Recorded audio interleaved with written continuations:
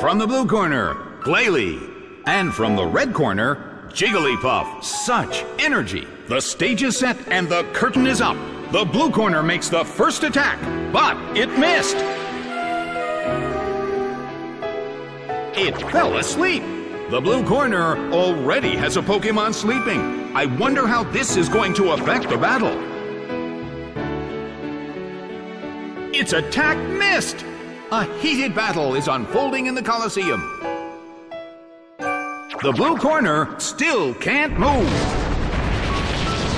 A smashing blow. The air in the Colosseum is tense.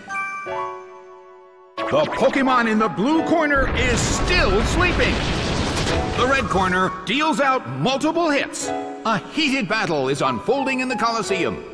The blue corner still can't move. Big hit! Taken down by an intense blow.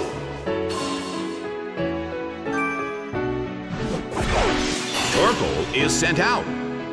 Well, both corners still have a chance to win this. What kind of developments can we expect to see next? A fierce blow. The blue corner barely holds on.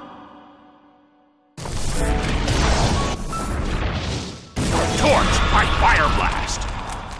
A huge amount of damage. It's down.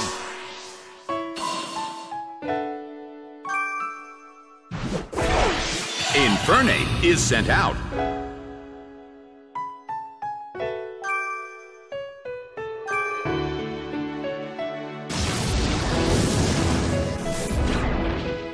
Immolated by Blast Burn.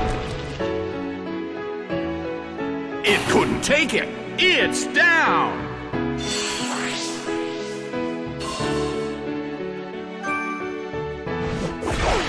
Farfetch'd is sent out. The Colosseum is burning with excitement. The red corner can't move due to a previously used attack.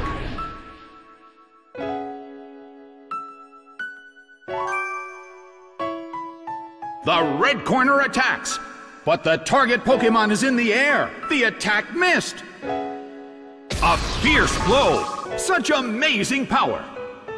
The battle has reached its final stage, and the tension is peaking.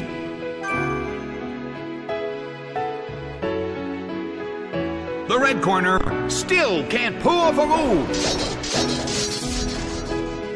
Its attack rose.